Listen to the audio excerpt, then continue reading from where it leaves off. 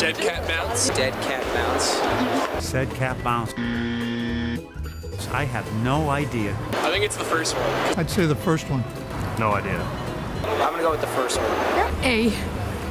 That means when uh, it's hit a low and you know it's going, got nowhere to go but up. That's it. I'd say the first one. Time to buy. Time to buy. Okay. oh man,